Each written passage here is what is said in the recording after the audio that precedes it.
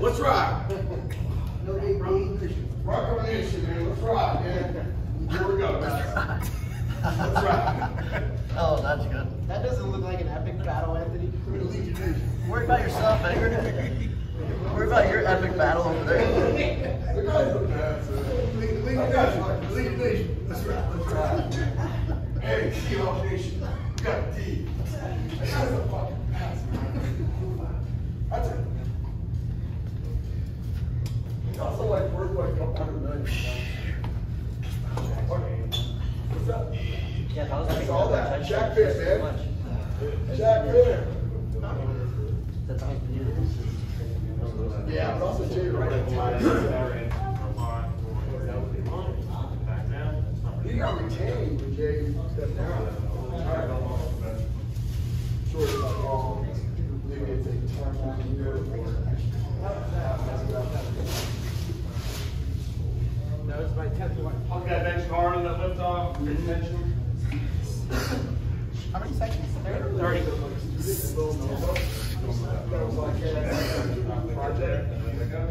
account. He asked Shaq if he could do that. So he does all the videos. Out there, no, we're oh, doing it over. That's why he's like, hey, here's uh, here's the workout, get it. Yeah, let's get it. Yeah, let's get it. Yeah. Or you have the uh, recipe videos stuff. Yeah. Apparently, like it's small, like, you know, like fifty thousand people or something. Just a random kid over, crack the code. Bottom take credit. Let's ride. Let's ride. That's it, guys. Here we go. Oh, yeah. Should be out of control and shaking during that isometric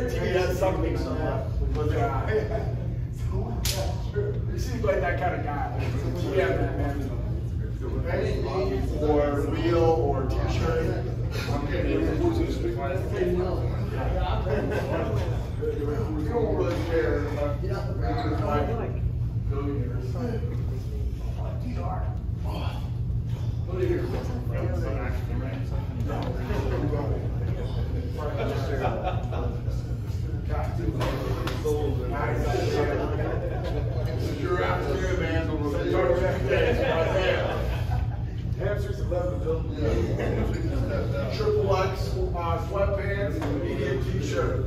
Mr. Unlimited. Have you seen that video of Russ Wilson calling himself Mr. Unlimited? Yes, yeah. I'm on.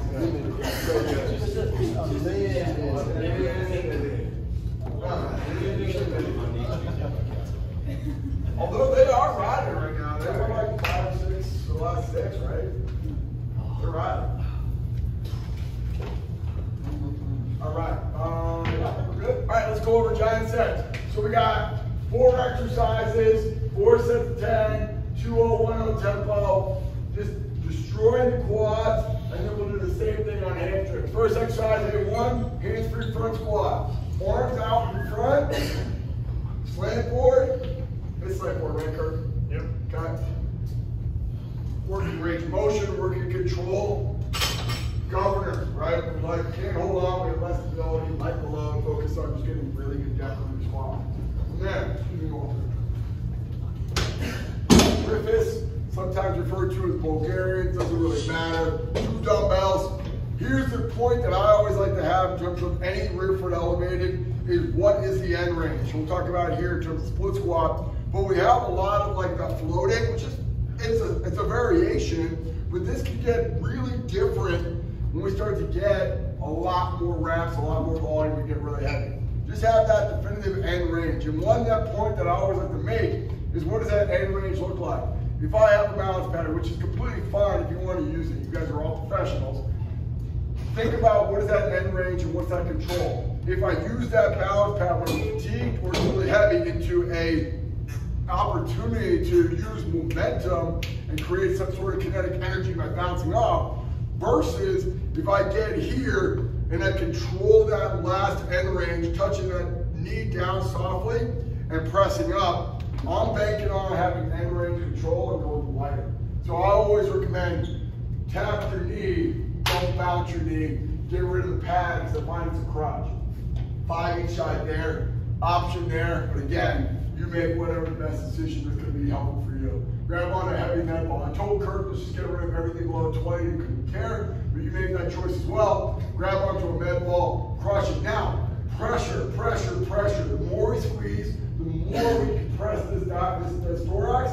And when you get to this part here, you can't elevate into your tilt and then push your butt back. It's all about keeping tension in quads. Crush that med ball, come down, get to that point where that pelvis is about to rotate, stop it by keeping that rib cage down.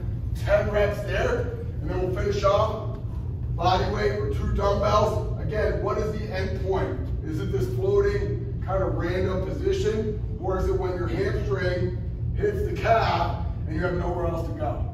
Again, what's the end point? When we get fatigued, when we get heavy, what does it look like? Full range of motion, or just kind of what's this like fluctuating depth? Five each side, five each side, 10 and 10, four sets. Everyone good on that? Got it.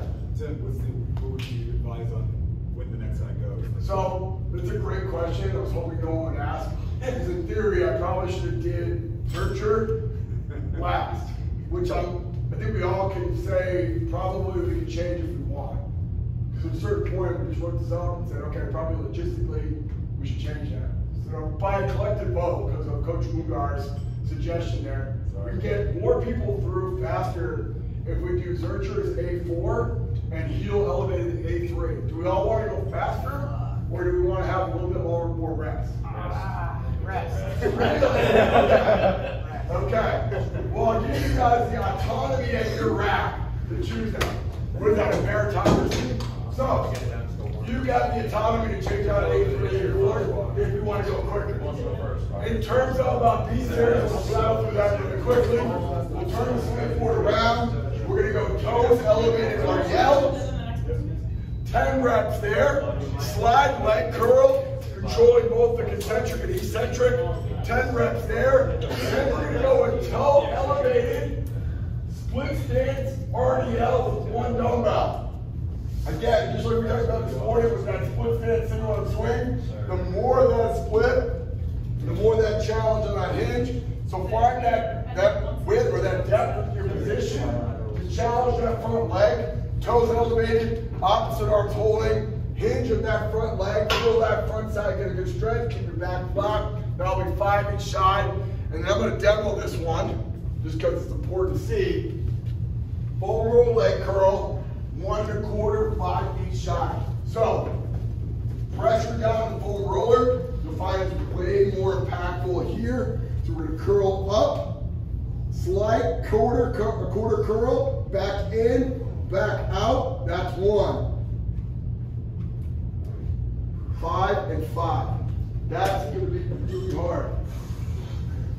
Oh yeah. Woo! Go back. Let's ride. Oh yeah. Oh yeah. Oh yeah. Let's ride.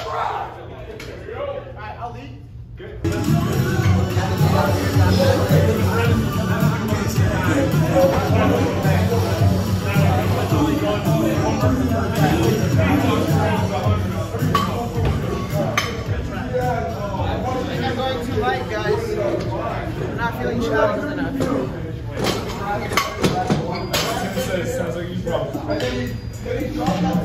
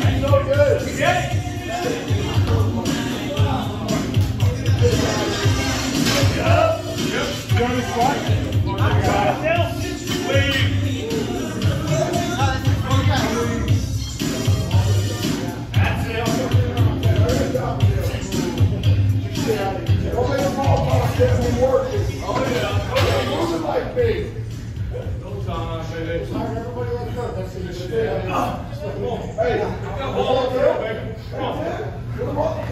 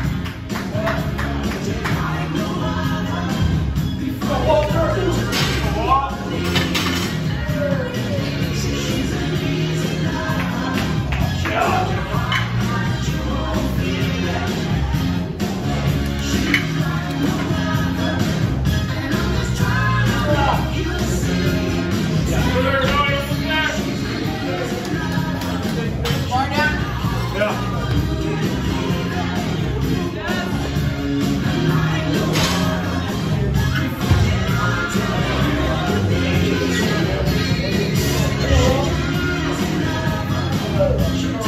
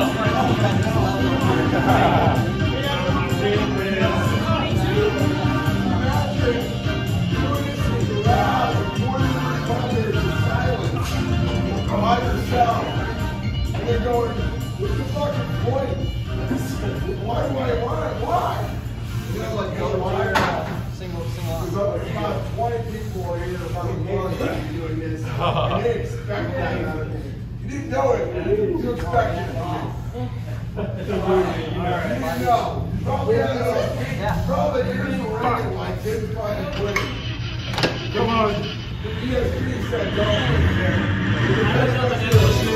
don't.